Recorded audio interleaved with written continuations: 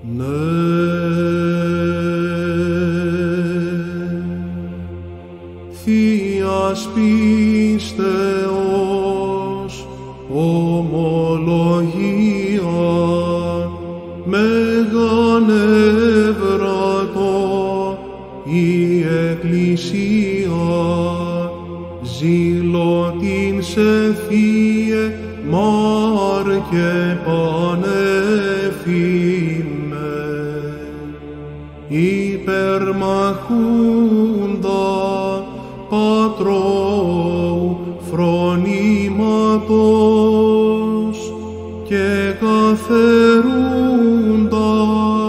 τους σκότους υψώματα. Όθεν αφεσίν Χριστόν των Θεών οικετεύε δωρήσαστε ημίν της σε γερερούσι.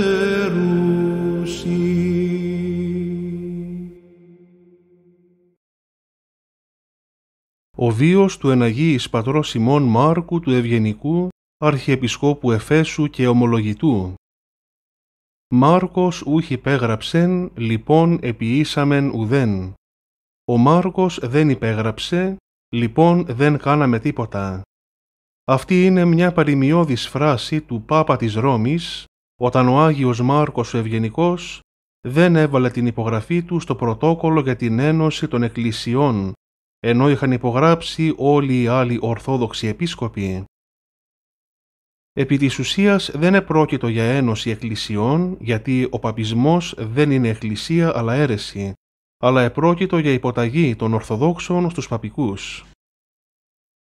Ο υπέρμαχος αυτός της Ορθοδοξίας, που σαν άλλος Άτλαντας στήριξε την Εκκλησία του Χριστού σε μία περίοδο πάρα πολύ δύσκολη, γεννήθηκε στην Κωνσταντινούπολη το έτος 1392. Οι γονείς του ήσαν ο διάκονος Γεώργιος και η Μαρία, η οποία ήταν κόρη κάποιου γιατρού Λουκά ονομαζομένου. Ο Μάρκος είχε πολλά χαρίσματα και ανεδείχθη έξοχος στις θεολογικές και άλλες σπουδές.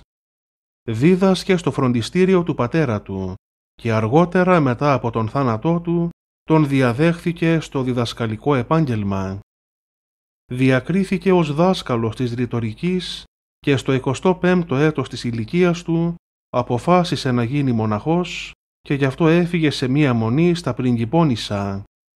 Εκεί ετάχθη υπό την πνευματική επιστασία ενός εναρέτου μοναχού του Σιμεών, ο οποίος τον έκυρε μοναχό και τον μετονόμασε από Εμμανουήλ, που ήταν το πρώτο όνομά του, σε Μάρκο. Κατόπιν από τα νησιά αυτά έφυγε και πήγε στην Μονή των Μαγκάνων, όπου και χειροτονήθηκε ιερέας. Αφού έγινε κληρικός το 1436 εκλέγεται Αρχιεπίσκοπος Εφέσου. Τότε ο βασιλεύς Ιωάννης Παλαιολόγος μπροστά στον τουρκικό κίνδυνο και με την ιδέα ότι θα μπορούσε να τον βοηθήσει ο Πάπας πηγαίνει στην Φεράρα της Φλωρεντίας για να συζητήσει την ένωση των δύο εκκλησιών. Στην τελική σύνοδο που έγινε στη Φλωρεντία το 1439 βλέπουμε δυστυχώς τους Ορθοδόξους αρχιερείς να υπογράφουν όλοι αποδεχόμενοι το πρωτείο του Πάπα, ότι ο Πάπας δηλαδή είναι απεσταλμένος του Θεού και αντιπρόσωπος του Θεού και όλες τις άλλες αιρέσεις. Το δόγμα της ασπίλου σύλληψης της Θεοτόκου, μεγάλη βλασφημία που υποστηρίζουν οι παπικοί, ότι η Θεοτόκος δηλαδή δεν γεννήθηκε με τη συνέβρεση των γονέων της, αυτό συνέβη μόνο στο Χριστό και πουθενά αλλού.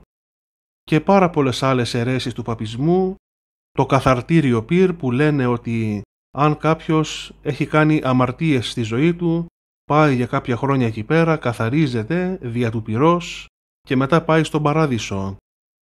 Ενώ η Εκκλησία μας ορίζει ότι η παράδεισος και κόλαση είναι αιώνια και από τη στιγμή που μία ψυχή θα βγει από το σώμα και θα πάει να κρυθεί μπροστά στο Χριστό, θα βγει η απόφαση ή θα πάει στον παράδεισο ή στην κόλαση. Οι ψυχές δεν βγαίνουν από εκεί. Όπως λέει και η παραβολή με το φτωχό Λάζαρο, ότι υπάρχει χάσμα μεταξύ παραδείσου και κολάσεως και δεν μπορούν οι του παραδείσου να πάνε στην κόλαση και οι της κολάσεως να πάνε στον παράδεισο. Είναι το καθαρτήριο πυρ μια άλλη αίρεση, η μεγαλύτερη αίρεση που λένε οι παπικοί ότι το Πανάγιο Πνεύμα εκπορεύεται και εκ του Πατρός και εκ του Ιού και πάρα πολλές άλλες αιρέσεις. Όλα αυτά λοιπόν αυτοί τα υπέγραψαν γιατί τους είχε πει ο Πάπας «Θα σας βοηθήσω να αναχαιτήσετε την επίθεση των Τούρκων υπό την προϋπόθεση ότι θα υποταχθείτε σε μένα». Και όλοι δυστυχώς υπέγραψαν. Εδώ ακριβώς στην πιο κρίσιμη στιγμή της Ορθόδοξης Χριστιανικής Ιστορίας σηκώνει το πνευματικό του ανάστημα ο επίσκοπος Εφέσου Μάρκος ο Ευγενικός και λέγει «Όχι, καλύτερα σκλαβωμένα σώματα στους Τούρκους παρά σκλαβωμένο πνεύμα στον ερετικό Πάπα». Όπως αυτό που έλεγαν και στην πόλη οι περισσότεροι εκ των χριστιανών οι οποίοι ήσαν ανθενωτικοί, δεν ήθελαν την ένωση με τον Πάπα και δεν πήγαιναν να ξέρετε στις εκκλησίες αυτές όπου μνημονευόντουσαν οι επίσκοποι που ήσαν φιλοπαπικοί, δεν πήγαιναν. Και έλεγαν καλύτερα να πεθάνουμε από τη χατζάρα του Τούρκου παρά να πεθάνει η ψυχή μας στην αιώνια κόλαση από την αίρεση του Πάπα. Και δεν υπέγραψε λοιπόν ο Άγιος Μάρκος Ευγενικός και ο Πάπας τότε οριόμενος είπε εφόσον ο Μάρκος δεν υπέγραψε δεν καταφέραμε να κάνουμε τίποτε. Κατόρθωσε έτσι ο Άγιος Μάρκος να κρατήσει ψηλά την σημαία της Ορθοδοξίας και να διδάξει σε όλους μας πως την Ορθόδοξη παράδοσή μας δεν πρέπει να συμβιβάζουμε και να προδίδουμε χάριν εφήμερων και ιδιωτελών σκοπών. Μετά από την προδοτική σύνοδο της Φεράρας Φλωρεντίας, οι Βυζαντινοί εγκατέλειψαν την Ιταλία. Ο αυτοκράτορας παρέλαβε τον Άγιο Μάρκο στο αυτοκρατορικό πλοίο και ύστερα από ταξίδι τρισήμιση μηνών έφτασαν στην Κωνσταντινούπολη. Εκεί οι κάτοικοι δέχθηκαν με αισθήματα εχθρικά και αποδοκίμασαν αυτούς που υπέγραψαν την Ένωση. Αντιθέτως όμως επιδοκίμασαν και τίμησαν τον Άγιο Μάρκο, όπως αναφέρει και ο υβριστής του, ο Γρεκολατίνος Επίσκοπος Μεθόνης Ιωσήφ. Ο Εφέσου είδε το πλήθος δοξάζων αυτών ως μη υπογράψαντα και προς εκείνουν αυτό οι όχλοι καθάπερ Μωυσή και Ααρών και εφήμουν αυτών και Άγιον απεκάλουν. Αυτά τα γράφει εχθρός του Αγίου και λέει ότι ο λαός όταν είδε τον Άγιο Μάρκο τον δόξαζε και τον προσκυνούσε. Τον υποδέχθηκαν δηλαδή σαν νέο Μωυσή και Ααρών και τον επεφημούσαν και τον αποκαλούσαν Άγιο. Όλο το ιερατείο ήταν εναντίον του Αγίου Μάρκου του Ευγενικού διότι τους χάλασε τα σχέδια. Οι μόνοι υποστηρικτές του ήταν οι μαθητές του, ο Γεώργιος, μετέπειτα Γενάδιος Σχολάριος, ο πρώτος πατριάρχης μετά από την πτώση της Κωνσταντινούπολεως, ο Θεόδωρος Αγαλιανός, ο Θεοφάνης Μητροπολίτης Μηδίας και ο αδελφός του Ιωάννης ο Ευγενικός.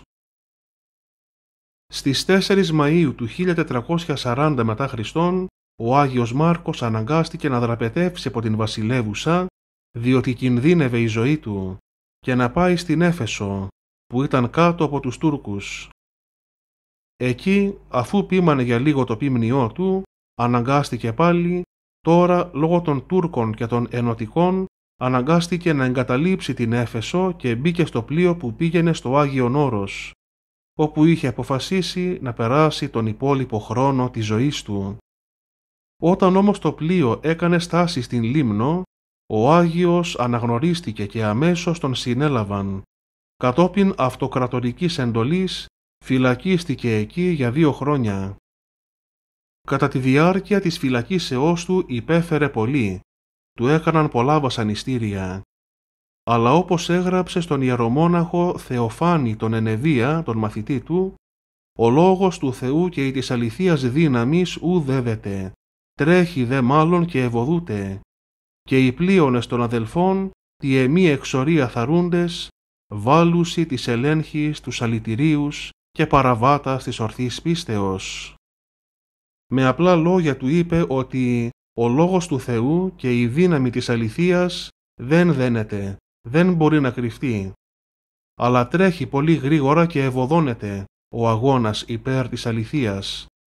Και οι περισσότεροι αδελφοί χριστιανοί, βλέποντας τα βασανιστήρια και την εξορία που υφίσταμε ο ίδιος, έγραφε ο Άγιος Μάρκος, ασκούν δρυμύτατο έλεγχο και κάνουν πόλεμο εναντίον αυτών των ερετικών, ερετικών ενωτικών που θέλουν την ένωση με τον Πάπα και όλους αυτούς που επιδιώκουν την ένωση τους ονομάζει ο Άγιος Μάρκος Ευγενικός αλητηρίους, αλήτες δηλαδή και παραβάτες της ορθής πίστεως. Από την Λίμνο ο Άγιος Μάρκος Ευγενικός εξαπέλυσε σφοδρό πόλεμο κατά των ενωτικών με την περίφημη εγκύκλιο επιστολή του προς τους απανταχού της γης και των νήσων ευρισκομένους Ορθοδόξους Χριστιανούς. Με αυτήν την εγκύκλιο ελέγχει δρυμύτατα αυτούς τους δίθεν Ορθοδόξους που αποδέχθηκαν την Ένωση και με αδιάσυστα στοιχεία μέσα από τις γραφές αποδεικνύει ότι οι Λατίνοι είναι ερετικοί και γι' αυτό λέει «Ως ερετικούς αυτούς απεστράφημεν και δια τούτο αυτόν εχωρίστημεν».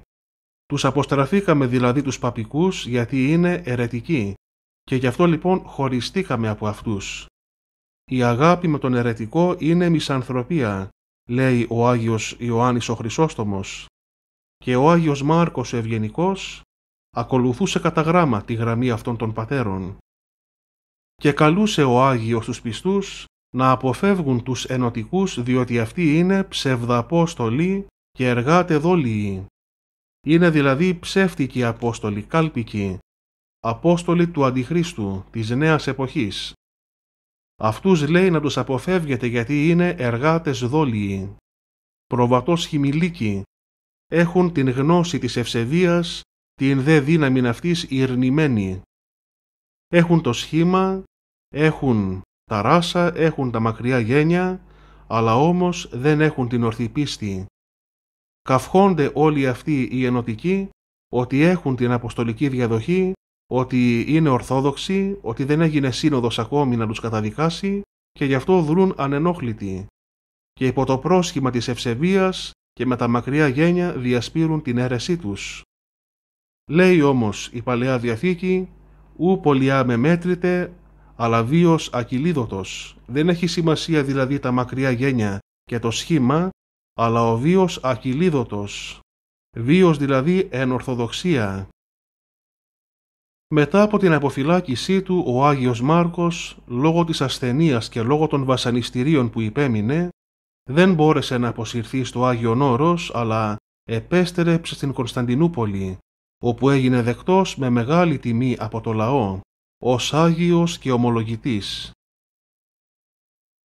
Από το μοναστήρι του Αγίου Γεωργίου των Μαγκάνων, ο νέος ομολογητής διήφθηνε τον αγώνα κατά των ενωτικών γράφοντας επιστολές στους μοναχούς και τους κληρικούς, ενθαρρύνοντάς τους να κρατούν την ορθή πίστη και να μην έχουν καμία εκκλησιαστική επικοινωνία με τους ενωτικούς.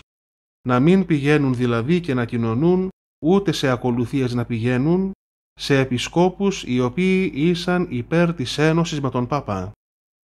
Δεν ήθελε κανέναν από αυτούς, ούτε στην κηδεία του, ούτε στα μνημόσυνά του για να δείτε ποια είναι η γραμμή των πατέρων της Εκκλησίας που έχησαν το αίμα τους για να φυλάξουν το ακριβές της αληθείας. Οι διωγμοί, οι εξουθενώσεις και οι πιέσεις επιδίνωσαν την κατάσταση της υγείας του Αγίου Μάρκου και στις 23 Ιουνίου του 1444 αφού είχε καλέσει κοντά του τα πνευματικά του τέκνα και ανέθεσε στον Γενάδιο σχολάριο την αρχηγία του ανθενωτικού αγώνος εξεδίμησεν εις Κύριον. Ήταν μόλις 52 ετών. Ο Άγιος Μάρκος Ευγενικός αμέσως μετά από την κοίμησή του τιμήθηκε ως Άγιος και ομολογητής της Ορθοδόξου πίστεως. Την πρώτη ακολουθία προς τιμήν του Αγίου Μάρκου συνέθεσε ο αδελφός του Ιωάννης ο Ευγενικός. Καταρχάς η μνήμη του εορταζόταν στις 23 Ιουνίου αλλά ο Πατριάρχης Γενάδιος το 1456 όρισε διασυνοδικής πράξεως να εορτάζεται η μνήμη του στις 19 Ιανουαρίου. Η μέρα της ανακομιδής του λιψάνου του Αγίου και της ταφής του στην μονή του Αγίου Λαζάρου στον Γαλατά. Οι αγώνες του Αγίου Μάρκου και του μαθητού του Γεναδίου Σχολαρίου αναγνωρίστηκαν από την Μεγάλη Σύνοδο της Κωνσταντινούπολεως, η οποία τελείωσε το 1484 και κατέγραψε τα ονόματά τους ως Αγίων Πατέρων στο συνοδικό της Ορθοδοξίας. Μπορεί να πολεμήθηκαν εν ζωή με εξορίες και αφορισμούς εκ μέρους του ενωτικού παπικού ιερατείου, όμως η Ορθόδοξη Σύνοδος του 1484 επικύρωσε τα γραπτά τους και τις ομιλίες τους και τους έγραψε ως Αγίους στα κατάστοιχα της Εκκλησίας και όλοι μαζί έψαλαν αιωνία η μνήμη, εις μνημόσυνον αιώνιον έστε δίκαιος. Και δυστυχώς ό,τι δεν κατάφεραν να κάνουν ο Καλέκας, ο Βέκος, όλοι αυτοί οι αιρετικοί και ενωτικοί, έλαβε σάρκα και οστά επί του παρόντος αιώνος του απατεώνος, επί τες πονηρές ταύτες και εσχάτες ημέρες. Τες των σών Αγίων Πρεσβείες Χριστέ ο Θεός ημών, ελέησον και σώσον ημάς. Αμήν.